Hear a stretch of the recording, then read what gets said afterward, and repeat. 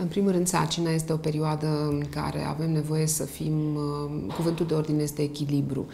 Pe de altă parte, putem să ne bucurăm de foarte multe evenimente, de foarte multe lucruri, de la întâlnirea cu bebelușul nostru pe un ecran de ecograf și până la auzi inima și până la a învăța ce să mâncăm ca să-i fie bine, există câțiva pași pe care ar fi recomandabil să-i uh, parcurgem. Un prim pas ar fi, în primul rând, să avem o listă de da și de nu, în funcție și de preferințele noastre. Să nu uităm că sarcina poate avea câteva etape prin care trece fiecare femeie, dar nu obligatoriu. Aceste etape sunt induse, în primul rând, de starea noastră psihoafectivă. Și atunci, ca să fim puțin mai expliciți, important este dacă avem sau nu acele grețuri de prim trimestru, dacă avem grețuri de ultim trimestru, dacă mergem la controlele lunare în fiecare lună, dacă mergem și avem o relație cu personalul medical care ne va îngriji atât medic de familie, asistenta medicului de familie, cât și ginecologul la care vom naște și să nu uităm de neonatologul care ne va prelua copilul.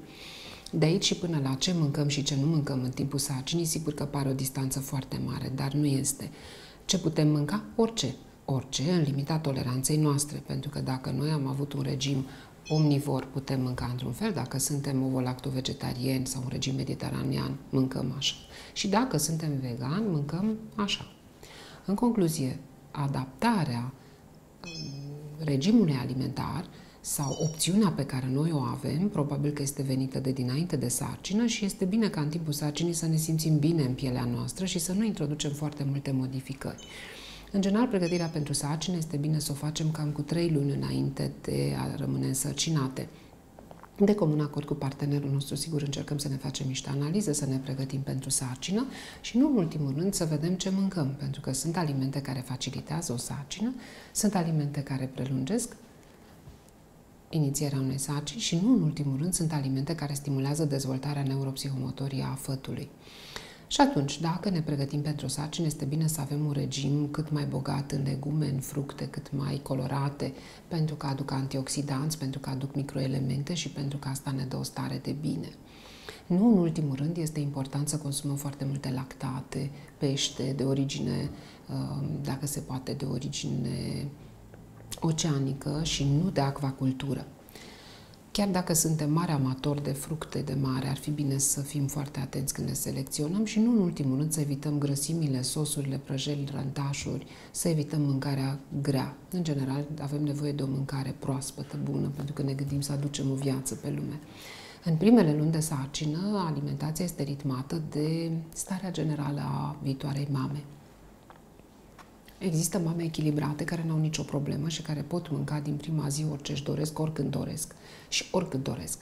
Și există câteva reguli pe care ar fi bine să le, recomand, să le respectăm de fapt și care țin să nu mâncăm exagerat de mult, să nu mâncăm pentru doi, să nu mâncăm pentru că avem nevoie să asigurăm aportul la cel puțin două persoane, eu, copilul și încă trei din spatele nostru, adică să știm să ne oprim înainte de a ne sătura, pentru ca să nu luăm foarte multe kilograme. A deveni obez în sarcină este risc în primul rând pentru copil, este un risc vital de multe ori pentru că poate induce patologie la copil. Practic putem avea o naștere cu probleme.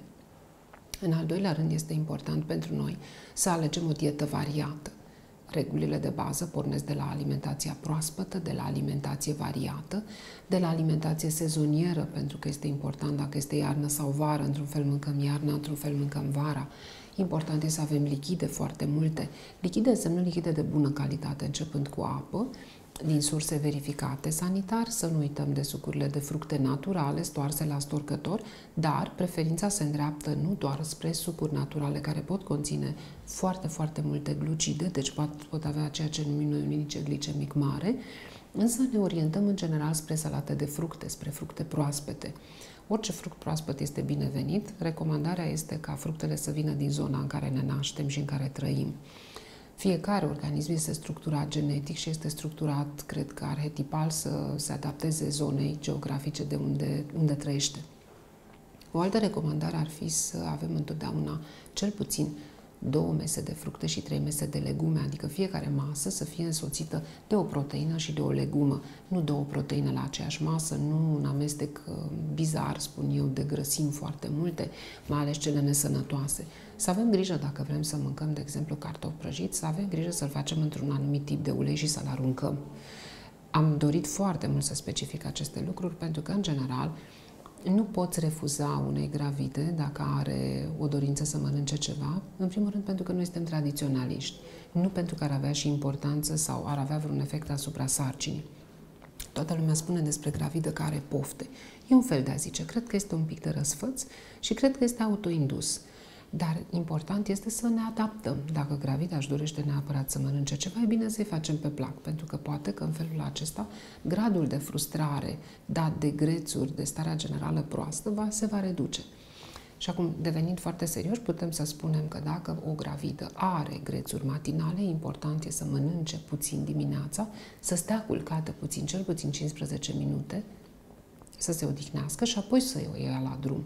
Asta înseamnă să se ne sculăm puțin mai devreme, eventual să facem și câteva exerciții fizice, să consumăm o alimentație sănătoasă, încă o dată pe bază de lactate, brânzeturi, pâine de casă, dacă se poate, făcută cu mânuțele personale, mă rog, se poate și cu aparat, dar ar fi de dorit cu mânuțele personale și, nu în ultimul rând, să avem un aport de lichide sănătoase. Uh, să știți că nu este contraindicat în sarcină, nici măcar dacă o gravidă își dorește să bea puțină cafea, poate să bea puțin, dar ar fi puțină cafea și mult lapte. Uh, pe de altă parte, există tendințe diferite la nivelul nutriționiștilor, al dieteticienilor, care unii spun mâncați lactate, alții spun nu. Important este să avem echilibru, să avem varietate, să avem prospețime, să avem aspect, pentru că este esențial aspectul alimentelor și nu în ultimul rând calitatea și sursa de proveniență are nevoie să fie una foarte bine verificată. Avem nevoie să fim foarte atenți atunci când mâncăm alimente la un local. Întotdeauna să vedem care este sursa de proveniență pe cât se poate, dacă există certificat de calitate și nu în ultimul rând să evităm sosuri, prăjel, maioneze și alte mâncăruri grele. Ce nu este indicat? Nu există niciun aliment care să nu fie indicat dacă o femeie își dorește să mănânce ceva, dar ar fi de dorit, de dorit, deci ca recomandare, să nu mâncăm foarte multe conserve sau să le excludem complet din alimentație. Putem mânca alimente în stare naturală. Asta este primul, nu neapărat un trend, ci o recomandare. La fel, dacă dorim să preparăm de dorit este să preparăm termic la flacă de ră deschisă, deci nu alimente care au fost puse în cuptorul cu microunde, pentru că sunt alimente distruse.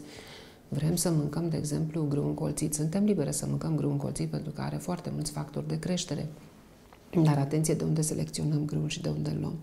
Deci mare atenție la aeruri, coloranți, conservanți. Și e bine să avem o dietă pe care să o stabilim de comun acord cu partenerul nostru, astfel încât să nu devină un coșmar. Dacă nu e, nu e obligatoriu să mâncați nici trei mese și nici două gustări. E obligatoriu însă să faceți ceea ce vă face plăcere și să respectați câteva reguli privind, din nou reguli, din păcate toate vor fi o țară a regulilor, să respectați câteva reguli privind starea de sănătate a copilului dumneavoastră. În primul rând, să nu consumați uh, fructe de moare nepreparate, să încercați să mâncați întotdeauna dintr-o sursă curată, să consumați apă de la sursă verificată sanitar.